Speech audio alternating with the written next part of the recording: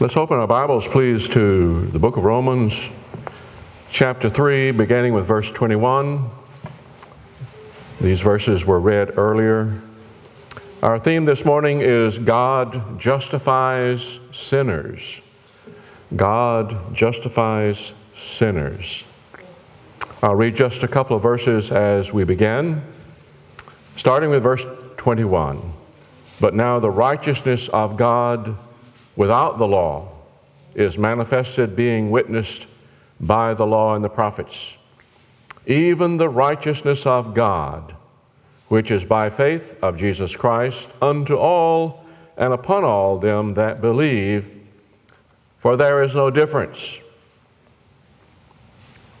For all have sinned and come short of the glory of God Father, we ask for the ministry of the Spirit of God upon the Word of God and upon our hearts, that there would be great works of marvelous grace done in every Christian's heart and in the hearts of those who sit here today without Christ. May this be a day of revelation, Holy Spirit conviction, and life by the grace of God. And we bless you for it in Jesus' name. Amen. In recent weeks, as we've stood together, we've been looking at themes from the book of Romans, not taking every single verse, but major themes. And we have seen in chapter 1 that all the Gentiles are sinners. In chapter 2, all the Jews are sinners. In chapter 3, the first 20 verses, the whole world is guilty before God. And the reality is that only when we embrace this biblical truth, only then will we ever value Jesus Christ. If we do not have a sin problem, why would I want to embrace or come to the one who came to earth to deliver his people from their sin? Let me get all my pronouns in order there if I do not have a sin problem, why would I have any motivation to come to Jesus Christ who came to deal with my sin problem?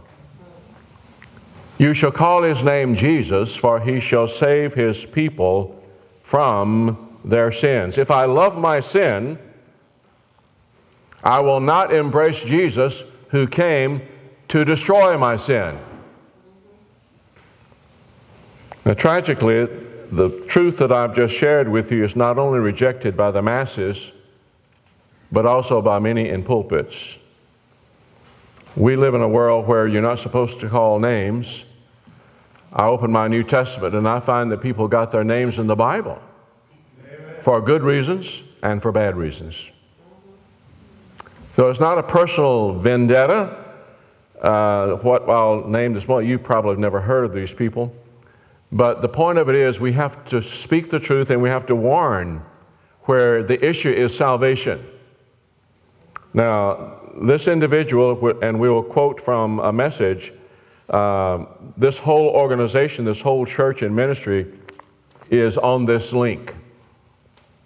Bethel Church in Redding, California is one of the most influential charismatic churches in the country. You say, well, I don't care about that, I'm not charismatic is impacting many people. Eric Johnson, the son of Bill Johnson, who is the main pastor, Eric is one of the pastors, in a sermon entitled The Joy of Consecration, said, You are not born evil.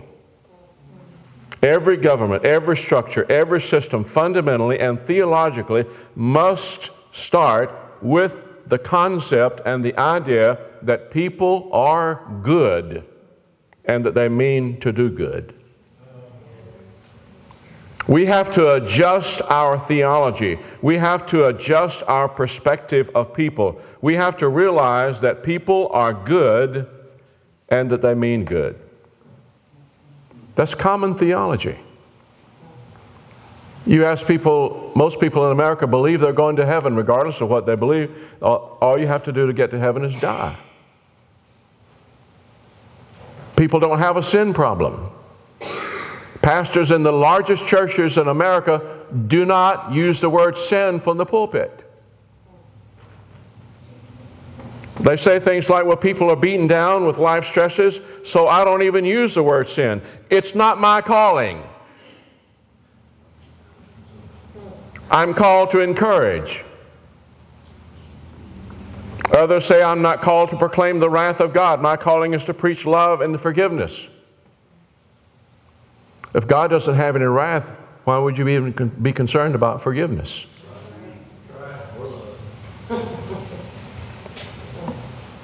Out of all this, there's an alarming reality that many professions of faith, the people in America, and probably other parts of the world is true as, as well, people who, who are saying, I'm saved, I'm, I'm baptized, I'm going to heaven, their profession, their belief, or whatever, has left them still married to the world, the flesh, and the devil. In powerful contrast, in glorious contrast, you read in Mark chapter 5, verse 15 through 20, and this wild, demon possessed man, when he savingly encounters Jesus Christ, immediately he is seated at the feet of Jesus. He's clothed, he's in his right mind, and he's commissioned to go and tell others. In John 4, the society cast out, sin laden woman at the well. When she encounters Jesus, she's immediately excited to go back to her town and come see a man who's told me all I ever did. And people came into the presence of Jesus because of this new convert. In Acts chapter 2, verse 42 through 47, thousands of new converts on the day of Pentecost were transformed by the gospel. And they began to immediately have Bible study and fellowship and break bread at the Lord's table and, and were transformed and went out to tell others, especially when persecution came. They scattered everywhere preaching the gospel. Even the carnal Christians at Corinth there are some people who really love to think about, to, to bring up the carnal Christians. Well, I'm saved. Sure, I'm living just like the devil, and, but I'm just a carnal Christian. Well, if you are a genuine carnal Christian, you are of, the such, of such nature as the carnal Christians of Corinth, who were radically transformed. You know the passage in 1 Corinthians chapter 6, verse 9 through 11. He says, if, if, you're, if you're in this lifestyle, and he lists a whole bunch of bad things, some of them we would say really bad.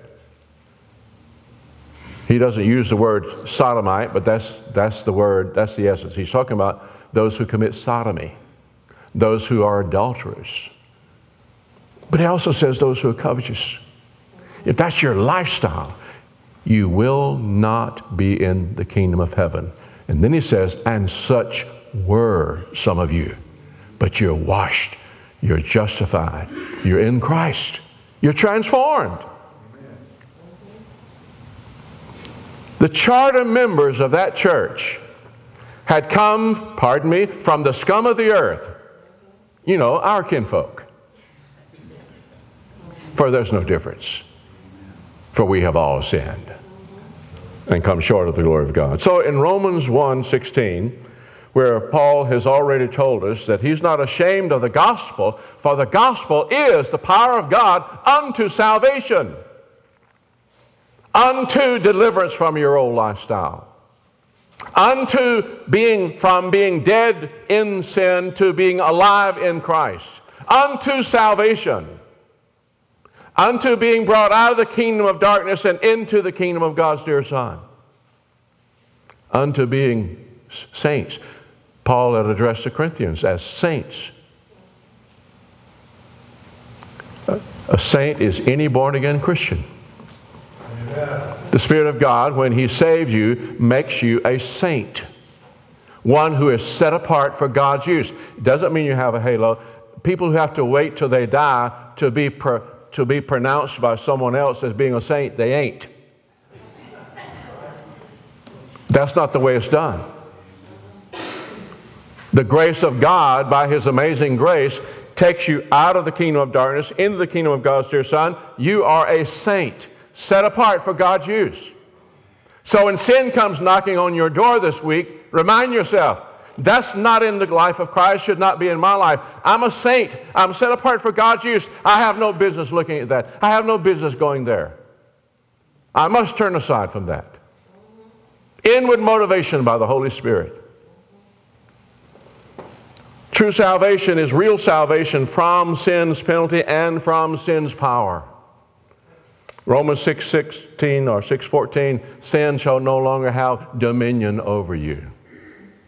So, going forward in Romans chapter 3, we get to verse 21, and he says, He saves without the works of the law. We're not saved by working, we're saved by God's own righteousness, by grace, by being, by, uh, being sinners who believe on the Lord Jesus Christ. And in these verses, verse 21 through 28, there are some big words, important words, that reveal some of the miracles relating to salvation. And I think, as many of you know, one of my favorite words is propitiation in verse 25. Even though it's not the first one, we'll begin there because it's my favorite. anyway, I don't know why we're beginning there, but we will whom God has set forth to be a propitiation through faith in his blood. God's holy wrath is satisfied by the sacrifice of Jesus in shedding his blood at Calvary. Propitiation has to do with the satisfying of God's holy wrath. Redemption by the blood. Verse 24. We're going to focus on the word justification. And the, uh, reality here is we could picture a God sitting on the throne as judge, and if you or I stand before the Lord, God Almighty, the Heavenly Father, God in heaven, now, if I'm not born again, he's, he's my creator, he's not my earth, he's not my Heavenly Father.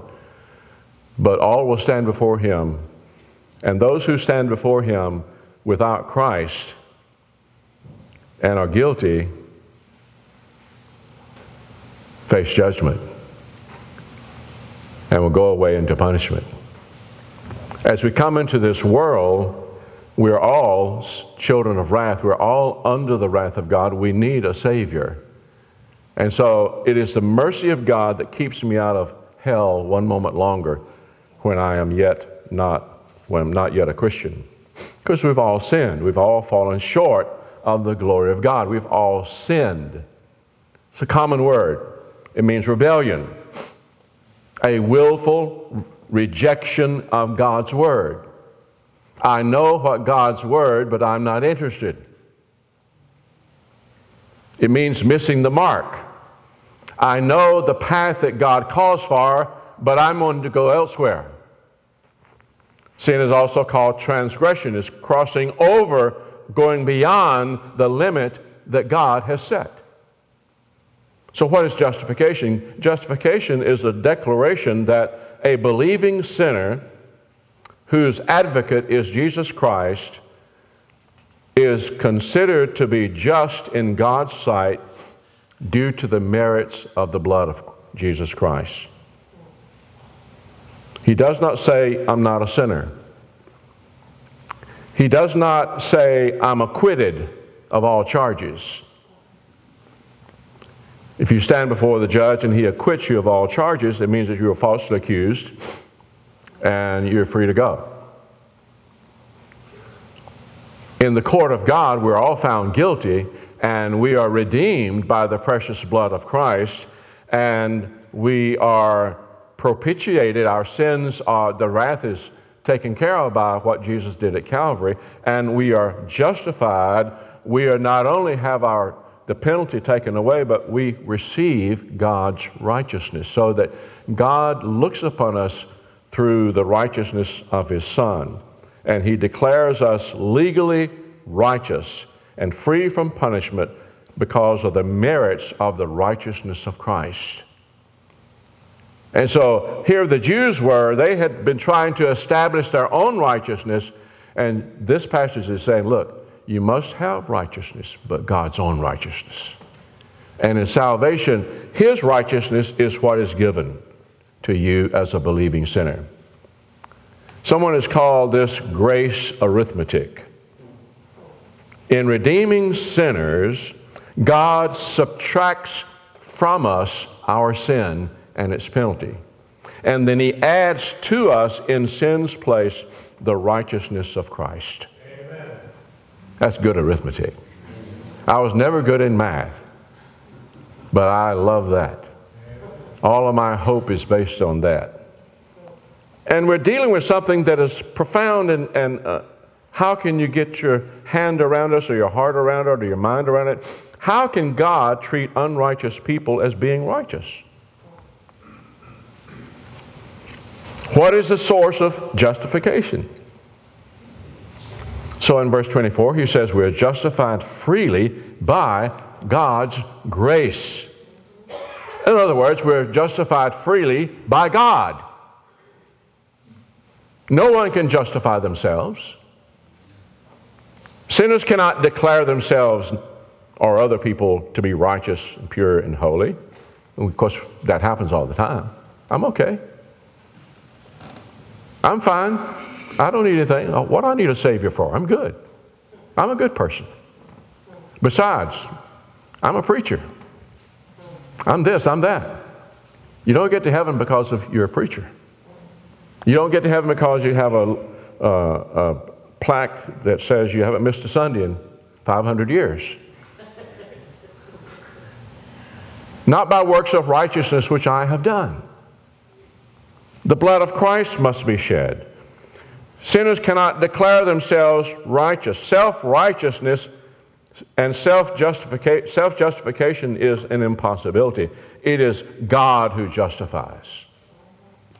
So, being justified by grace means that we are also, in verse 24, justified freely. It is God's free gift. It's not something we can earn, not something we can deserve, not something we merit. We get what we don't deserve. We get the opposite of what we deserve. Earlier this week, I deserved blue lights. I deserved a ticket. I deserved a court date. I deserved a fine to the tune of approximately $200. But I was given a gift. For reasons only known to this officer, he let me go free. I didn't earn it. I didn't deserve it. It was a gift. Now that's peanuts. How can God do this without contradicting his own justice? God is the one who sets the standard of saying that sin must be punished. Well, sin is punished. God justifies by Christ's own blood. We are justified by propitiation, by Christ's sacrifice of atonement, verse 25, by the redemption that comes by Jesus Christ, verse 24. This means that justification is still, that justice is still carried out. Sin is still punished. Guilt is still dealt with. But not by me, but by Jesus Christ. God's justice was experienced by Jesus Christ. My sin was punished in Him. My guilt was borne on Him. Justified by His blood means that Jesus has borne the penalty of all of my law breaking. Now, the Holy Spirit also tells us in chapter 5, verse 1, and in verse 22 of chapter 3 that we're justified by faith. God's grace is the source. God's blood is the ground, and the means of justification is by faith. Faith is the means by which we are united to Christ. Faith is the only means. Without faith, we cannot be justified. And how gracious of God to give faith.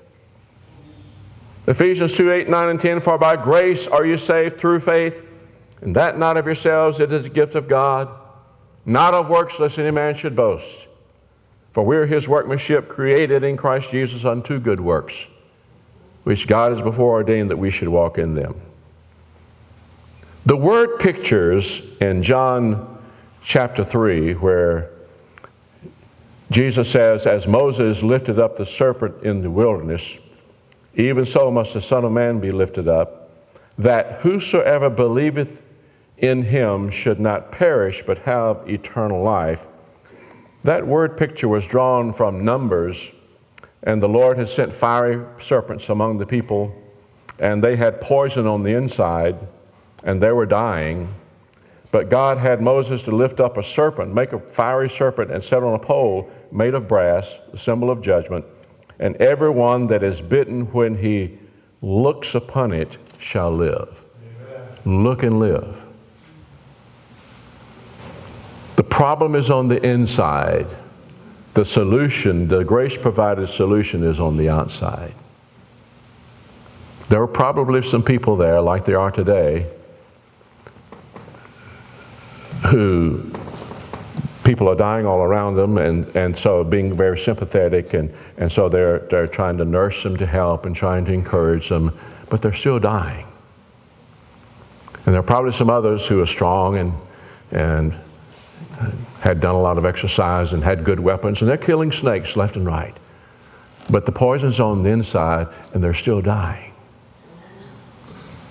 And there are probably a lot of people, like there are a lot of people today, and they're looking to their Moses or to their church.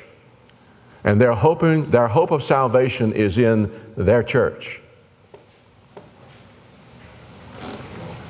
We recently sent out a newsletter in which we showed the, the difference between a particular large denomination and grace.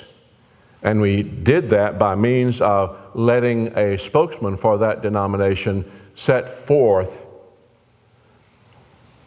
what he saw as the difference between the way which he proposes and that his church proposes versus the way the Bible proposes.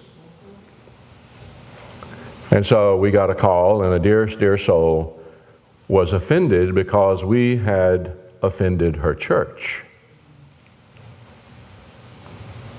It didn't happen to hit her mind that all I was doing was saying, well, here's what your church says, and your church has condemned anybody who does not embrace their church as going to hell, as, as uh, having no hope outside of their church. And you can't get to Jesus except through their church. And so I said, well, that person has spoken truly about their church.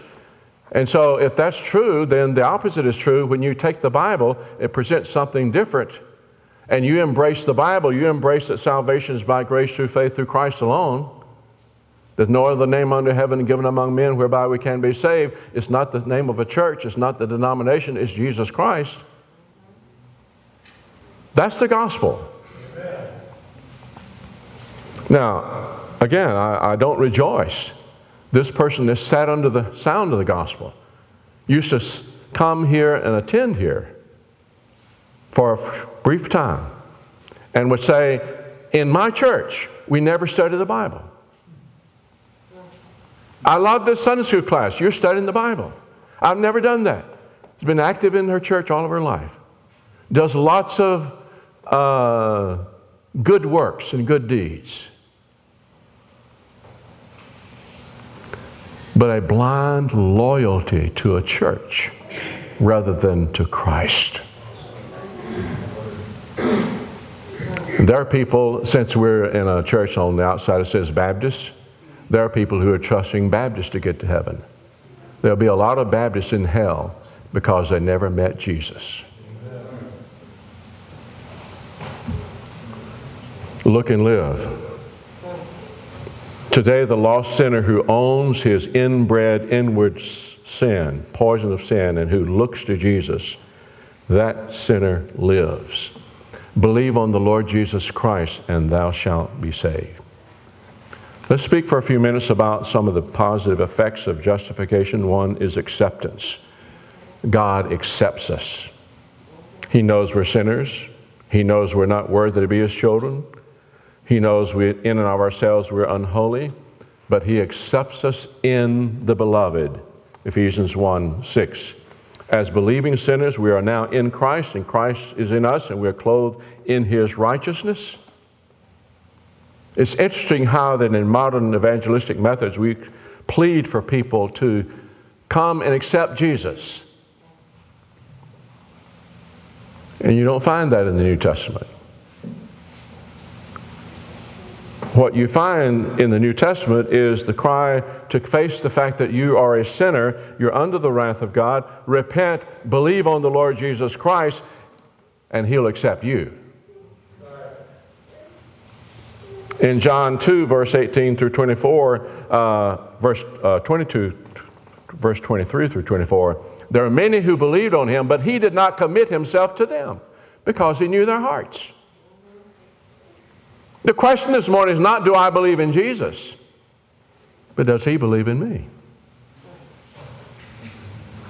Because I have come to him as a sinner without hope and without God, and I have no way to get the inward poison out of my soul, and I look to Jesus and Jesus alone and cry out, Oh Lord God, be merciful to me, a sinner.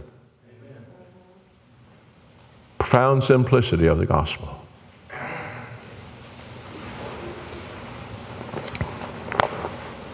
Now, as a redeemed sinner, you may have sin and failure in your life. If we say we have no sin, we deceive ourselves, the truth's not in us. We know what it is as believers to grieve the Holy Spirit. But when that happens as a genuine believer, we do have chastening.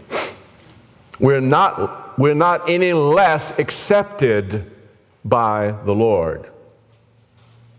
Our justification never wavers. A Christian sins and there are some uh, sensitive souls, and oh, well, I must not be saved. Well, if you say you have no sin, then, then you question your salvation. But when you sin as a believer, you're still loved, you're still accepted, and so you come boldly to the throne of grace to find help in time of need. There is acceptance by the Lord. Another gift is that there is holiness, godliness, or sanctification. People who are justified are not only pronounced holy, by the indwelling Holy Spirit, we are progressively being made holy. We are being conformed into the likeness of Christ.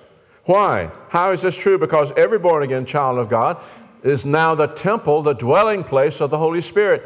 Christ now lives within by the Holy Spirit. We are immersed into the realm of the Spirit of God. The born again child of God is the dwelling place of God. And you are empowered to live the Christian life. You're no longer in bondage to sin. And this is good news. Brace yourself. This is good news. It's not bad news, it's good news. You are a recipient of the chastening hand of God. You say, I didn't think about chastening being good news. Oh, it's very good news.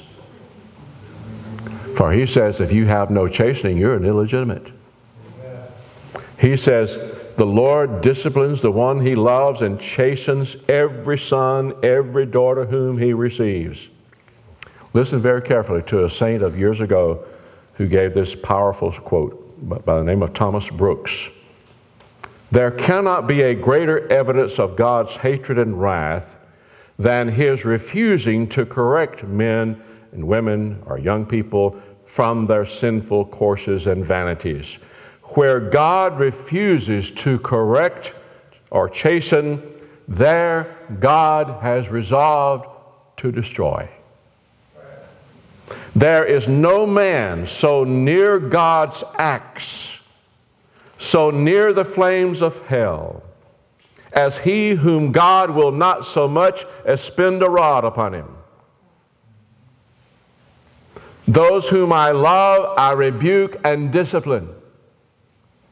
In true salvation, the ungodly are not only redeemed and forgiven and forever changed, but we enter into a life of being loved by Jesus on a very practical level. The chastening comes with conviction by the Holy Spirit. The chastening comes with, with uh, an exhortation or, or, or, or a rebuke from a brother or a sister, or from the teaching and the preaching of the Word of God. Are there other more serious ways if God needs to do that?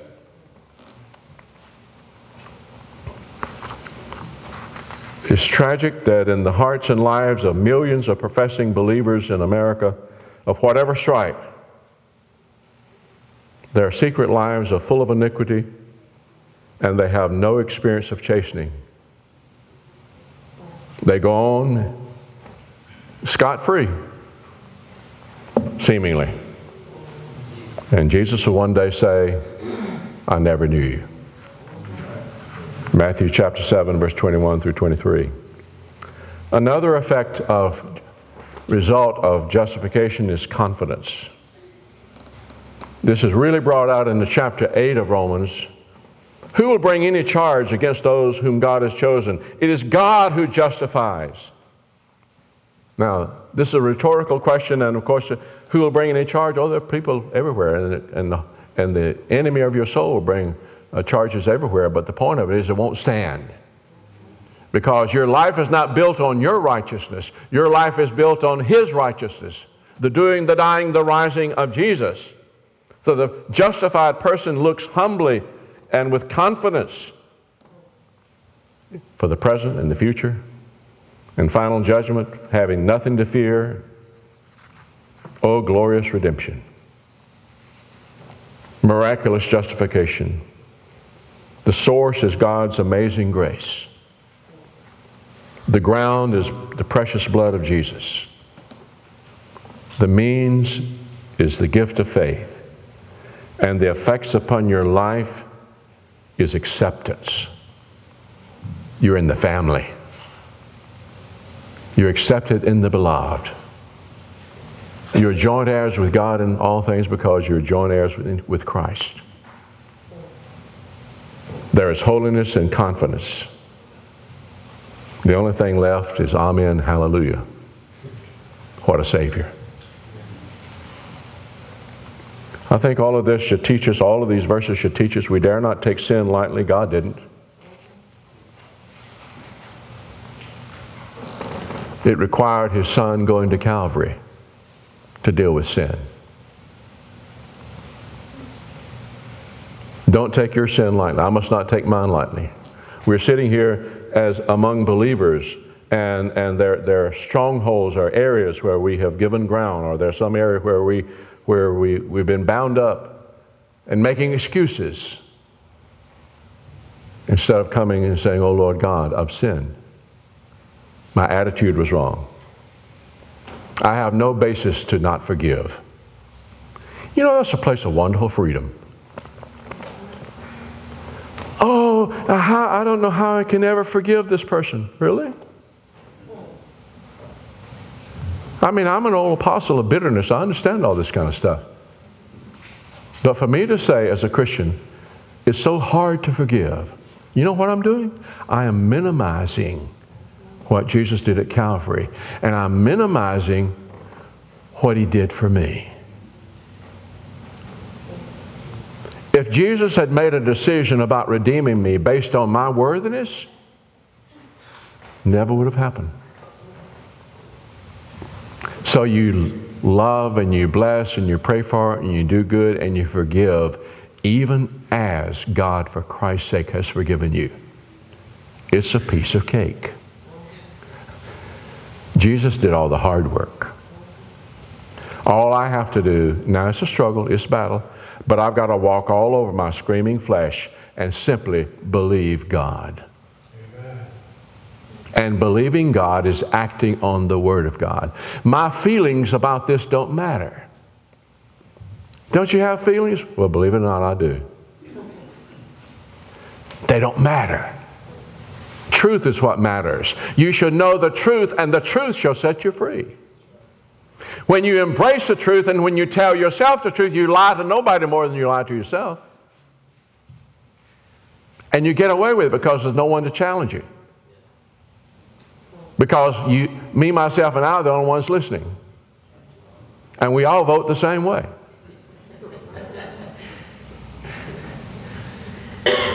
but you never win when you listen to me, myself, and I. That's why Jesus says, deny yourself, take up your cross, and follow me. Take your eyes off your feelings and look away from yourself and behold the Lamb of God. And be renewed in the joy and the rejoicing and the wonder of God's arithmetic. While you were yet a sinner without hope and without God and without reason whatsoever that God would look upon you in kindness, God in His love and mercy looked down and forgave you. He gave you grace to repent, He gave you grace to believe. Blessed be His name. Oh, dear Father, may this be a day of rejoicing in justification that comes from God, that comes through Jesus Christ that takes us out of the kingdom of darkness and places us into the kingdom of God's dear Son, that gives us acceptance before holy God that we could never earn, never deserve, that brings us into the family, that sets us free from all the bondage of sin, self, and Satan. Oh, Father, that sets us free from all the past failures, sets us free from trying to live based on our performances. Sets us free from trying to walk or crawl our way back to God, to try to feel bad enough about our failures to somehow earn the favor of God. Oh Lord God, it's all of grace. May this be a day of coming boldly to the throne of grace to find help in time of need for every believer. And those outside of Christ, trusting anything or anyone other than the doing, the dying, the rising of Jesus.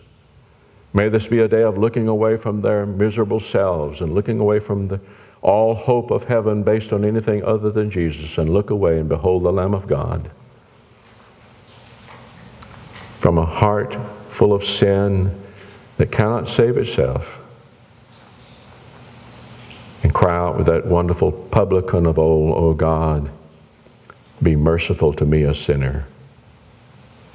Thank you, Lord Jesus, that you still hear that prayer. And for this we pray and give thanks in Jesus' name. Amen. Let's stand together and sing and obey the Lord.